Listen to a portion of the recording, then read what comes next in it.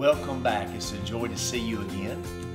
We're going to look at this fourth thrilling ingredient of having a quality uh, devotion time. Learning to start a daily devotional life will greatly, greatly increase your understanding and knowledge of who God is.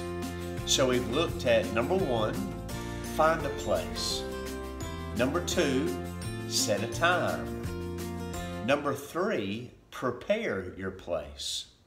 And today, number four, we're going to look at what items can help you along with your Bible in your time of devotion, your time of communion with God. Some even refer to this time as a quiet time. You know, there's other good resources that are good to have in your place that you meet with God. So we always have our Bible, that's very important. I like to have a Bible that's a little larger print. Um, I like to have a Bible that I can read very easily because the words are a good size for me to read. That's very important, having a Bible. Now, where, where can you start in the Bible when you're beginning your prayer time?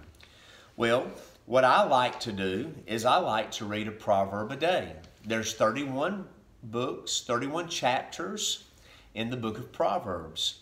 And so on uh, October 1st, coming up here in just a few days, in my quiet time, I'll read Proverbs chapter 1. On October the 2nd, I'll read Proverbs chapter 2.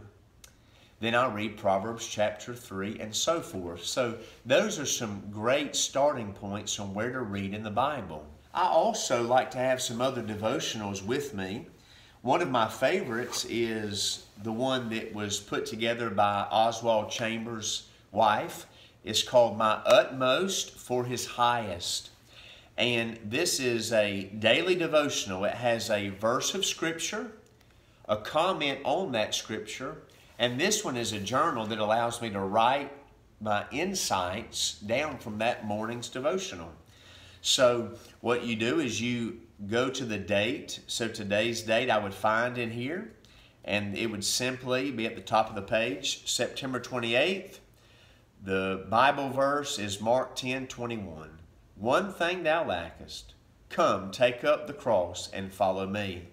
And then I would read this devotional thought. Something else that I enjoy to read is this devotional. It's a collection of prayers and devotions. And the title of this is The Valley of Vision. And these are neat poems. They're inspiring thoughts. They're insights that God has given other men and women that can help encourage your thinking in your time of prayer. Um, here is a journal that I like to keep in my uh, prayer place. Um, it's just a journal with blank pages. And I like to keep a pen by, and as you can see, I've written in this journal as well things that God has spoken to me in my time of prayer. That way I can reflect back on that. Uh, another one that I enjoy to read is called Streams in the Desert. That is a great one. But there's many that you can find. This one is called A Journey Towards Hope. And it's just something with scripture, devotional thoughts that can help you. This one is called Living in the Light. And you can just read through these devotional thoughts each day to help inspire you as you are spending time with God. Don't be afraid to use resources. Don't be afraid to read things to, to help you understand who God is from the insight that others have found in their devotional time. God bless you. Have a great day.